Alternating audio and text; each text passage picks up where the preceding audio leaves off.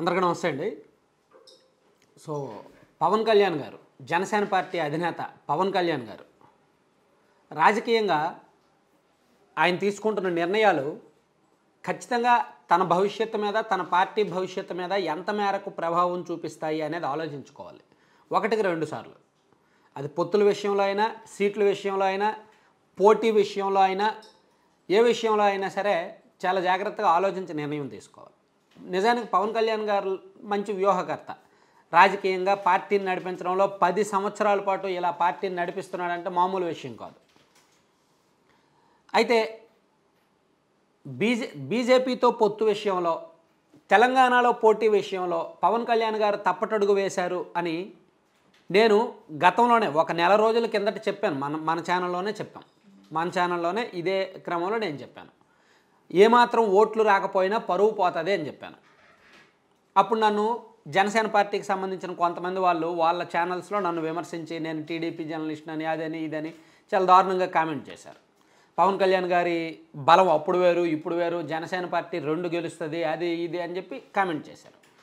So ఇప్పుడు Janasena party రియాలిటీలోకి రావాలి. ఇప్పుడు ఏమంటారు? బర్రెలక్క. ఆమెకు దగ్గర దగ్గర ఆరు వేల ఓట్లు వచ్చాయి. జనసేన పార్టీ అభ్యర్థులకు కూకట్పల్లి తప్ప ఇంకెక్కడైనా ఆరు వేల ఓట్లు వచ్చాయా? సోషల్ మీడియాలో బర్రెలకు ఫేమస్ సురీష ఫేమస్.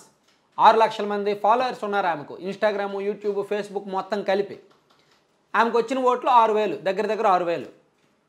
సో జనసేన పార్టీకి సోషల్ మీడియాలో లక్షలాది మంది సైన్యం ఉండొచ్చు కాక. కానీ ఓట్లకు వచ్చేసరికి మాత్రం చూసారా? డిపాజిట్లు కూడా రావట్లా. సో సోషల్ మీడియా బలం వేరు. నోటికి పని చెప్పడం వేరు. క్షేత్రస్థాయిలో రాజకీయం వేరు. అది జనసేన పార్టీ ఒకటికి రెండు సార్లు ఆలోచించుకొని తెలుసుకోవాలి. ముఖ్యంగా తెలంగాణ లాంటి రాష్ట్రంలో పోటీ చేయడం అనవసరం. ఒకవేళ పోటీ నిజంగా ఎందుకు పోటీ చేయడం అనవసరం అన్నానంటే నిజంగా పవన్ కళ్యాణ్ గారు ఒక ఆరు నెలల ముందు నుంచో ఎనిమిది నెలల ముందు నుంచో సంవత్సరం ముందు నుంచో తెలంగాణలో రాజకీయాలను సీరియస్గా తీసుకున్నారు అనుకోండి. నేను ఇప్పుడు చెప్పేది జాగ్రత్తగా అబ్జర్వ్ చేయండి.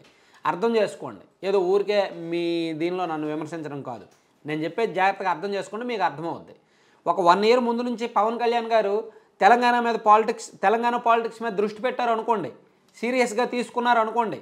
అక్కడ కూడా ప్రచారం మీటింగులు పెట్టడం క్యాడర్ని పార్టీని నిర్మించడం క్యాడర్ని నిర్మించడం ఎప్పటికప్పుడు నెలకొక వారం రోజులు అక్కడ అందుబాటులో ఉండటం ఇలా పూర్తి స్థాయిలో ఒక వన్ ఇయర్ పాటు వర్కౌట్ చేస్తే గ్రౌండ్ వర్క్ చేస్తే పార్టీని స్ట్రెంగ్తన్ చేస్తే అప్పుడు ఎన్నికల్లో పోటీ చేయాలి. అంత కష్టపడి పార్టీని నిర్మించి పోటీ చేసినా గెలుపు అనుమానమే. పరువు దక్కితే చాలు. తెలుగుదేశం పార్టీ ఎందుకు పోటీ చేయలా? పరువు పోద్దనే.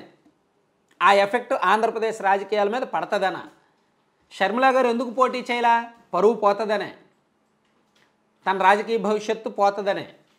టీజేఎస్ తెలంగాణ జన జనసమితి ఎందుకు పోటీ చేయలా? కోదండరాం గారు ఆయన ప్రొఫెసర్ ఆయన ఎందుకు పోటీ చేయలా? ఆయనకు కూడా తెలుసు పరిస్థితి ఏంటనేది. సో అక్కడ ప్రధాన పార్టీలు ఒక రాజకీయంగా పట్టుదల మీద ఉన్నప్పుడు చిన్న చిన్న పార్టీలు దానిలో కొట్టుకుపోతాయి. సో తెలుగుదేశం పార్టీ లాంటి పార్టీయే చిన్న పార్టీ అయిపోయింది తెలంగాణలో ఇప్పుడు. అలాంటిది జనసేన ఎంత? కూకట్పల్లిలో ముప్పై తొమ్మిది వేల ఓట్లు వచ్చాయి. పోనీ పోటీ చేసిన బీజేపీతో ఎందుకు కాంప్రమైజ్ అవ్వాలి? వాళ్ళు ఇచ్చిన సీట్లు తీసుకోవడం ఏంటి? అసలు వైరా ఖమ్మం కొత్తగూడెం అశ్వరావుపేట తాండూరు కోదాడ నాగర్ కర్నూలు వీ ఈ నియోజకవర్గాల్లో ఎక్కడైనా జనసేన పార్టీ జెండా కట్టిన వాళ్ళు ఉన్నారా గత నాలుగైదు సంవత్సరాలుగా? ఎక్కడైనా జనసేన పార్టీ కార్యకర్తలు ఉన్నారా? లేరు. ఏదో బీజేపీతో పొత్తు పెట్టుకున్నాము బీజేపీ సీట్లు ఇచ్చింది మనం పో పోటీ చేసాము ఊరేగాము. రిజల్ట్ చూస్తే పరువు పోయేది ఎవరికి? బీజేపీకి ఏం పరువు పోదు. పవన్ కళ్యాణ్ గారికే పోద్ది జనసేన పార్టీకే పోయింది. ఈ నియోజకవర్గాలు ఏవి కూడా జనసేన పార్టీ పోటీ చేయదగిన నియోజకవర్గాలు కాదు. పటాన్చెరు పోటీ చేయొచ్చు కూకట్పల్లి పోటీ చేయొచ్చు సనత్ నగర్ పోటీ చేయొచ్చు జూబ్లీ హిల్స్ పోటీ చేయొచ్చు.